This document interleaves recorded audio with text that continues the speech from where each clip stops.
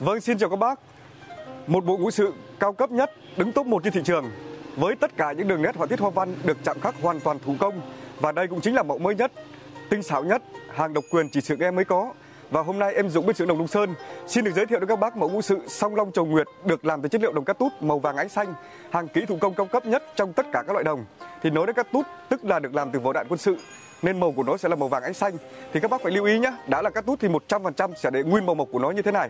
Thì bộ này kích thước là cao 60 sẽ gồm một đỉnh đồng là cao 60 phân này, hai con hạc hai bên là cao 65 và hai chân nến là cao 50.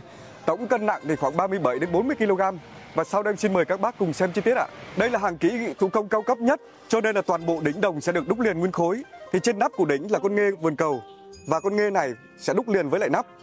Thì đối với cái mẫu nghê này thì nhà em sẽ làm to hơn mẫu trước đây. Và ừ, đối với cái mẫu đỉnh sông long này thì chú nghê sẽ được, được tạo hình nó hung dữ hơn một chút để cho nó phù hợp với đồng điệu với lại cái mẫu sông long. Và mẫu nghê này cũng được đánh giá là cái mẫu đẹp nhất hiện tại. Còn phía dưới sẽ được ờ, cắt tỉa đấy là hình rồng lượn. Đấy ạ, để khi các bác đốt trầm hương thì cái khối trầm sẽ lan tỏa theo đường này. Kèm theo đó là một số cái hình ảnh chạm chìm như thế là tiền xu đây ạ. Thì tượng trưng cho tiền tài. Thì các bác phải lưu ý nhé, đối với cái dòng hàng kỹ thủ công thì mới có những cái đường nét chạm chìm ở trên đỉnh đồng như thế này. Và em sẽ mở để các bác cùng xem bên trong luôn. Đấy ạ đây là hàng thủ công cho nên là khuôn bên trong là khuôn đất. Rất là dày dạn. Mặt trước của đỉnh đồng được đúc nổi hình song long trầu nguyệt, Thì cặp rồng này sẽ được đúc liền nguyên khối với lại đỉnh đồng. Và tất cả những đường nét họa tiết hoa văn này Từ vân vây vẫy rồng Sẽ được chạm khắc hoàn toàn thủ công, Cho nên là rất là sắc nét và mềm mại. Thì trên cái bộ đỉnh song long, Cặp rồng sẽ đóng vai trò chủ đạo. Thì ờ, bộ đỉnh có đẹp hay không Thì mình sẽ nhìn vào cặp song long này và chính cặp song long này thì nó cũng thể hiện được cái kỹ thuật tay nghề cũng như là kinh nghiệm của người thợ thợ giỏi hay là không ở trên này. Và các bác ờ, lưu ý nhé cái phần bầu đỉnh của cái bộ này nhà em đang làm là khoảng 28 cm đây ạ. Nó to hơn mẫu trước đây tầm khoảng 2 cm còn ờ, ở giữa đỉnh đồng thì sẽ được đúc nổi, đấy là năm chữ là phúc lộc thọ khang ninh. Thì đây là mẫu chữ hán nôm. Về nội dung chữ ở trên đây thì các bác có thể thay đổi theo yêu cầu. Có thể là chữ việt này chữ hán này hoặc là tên chủ thể nào đấy các bác muốn thờ. Và tiếp đến là đôi tay mây và chân quỳ tam lân vẫn được đúc theo lối cổ và đúc liền nguyên khối. Thì phía dưới là hình ảnh ba chiếc đầu lân đang đỡ đỉnh đồng. Thì tất cả những đường nét, những cái dù là những cái chi tiết nhỏ nhất thì đều được nhà em làm rất là kỹ càng.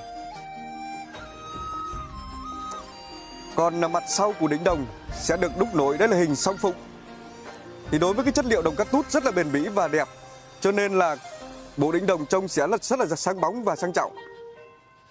Và tiếp đến thì đó là cặp chân nến. Thì phía trên của nến sẽ là bắt sen rời. Và trên thân nến sẽ được chạm khắc một số họa tiết hoa văn. Còn phần mâm của nến sẽ được chạm khắc hình long phụng sum vầy. Đường nét rất là mềm mại và bay bồng thì toàn bộ phần họa tiết hoa văn này sẽ được chạm đám chìm thì các bác có thể thấy này, từng đường kim mũi đục được chạm xuống lại vô cùng công phu và tỉ mỉ luôn ạ. Thì đối với cái dòng ờ, ờ, hàng kỹ thủ công cao cấp thì đối với cái đồng cắt tút này là hàng tinh xảo nhất các bác nhá. Tiếp đến thì đó là chân đế, chân đế thì sẽ được ờ, chạm khắc hình bông sen bao quanh và kết hợp với một số đó là đường triện ở bên ngoài. Cuối cùng là cặp hạc ngậm trên chùm đứng trên lưng rùa. Thì cặp hạc này được nhà em làm rất là thần thái.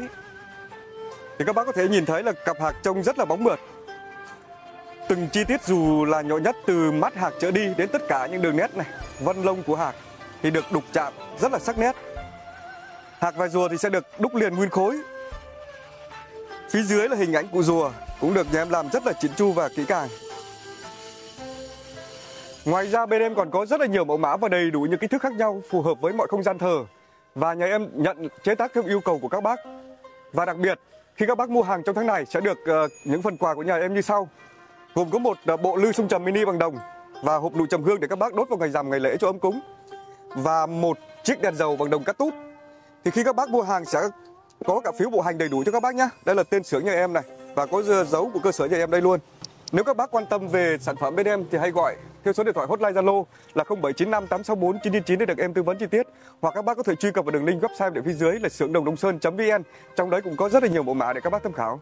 Cảm ơn các bác đã xem video. Xin chào các bác.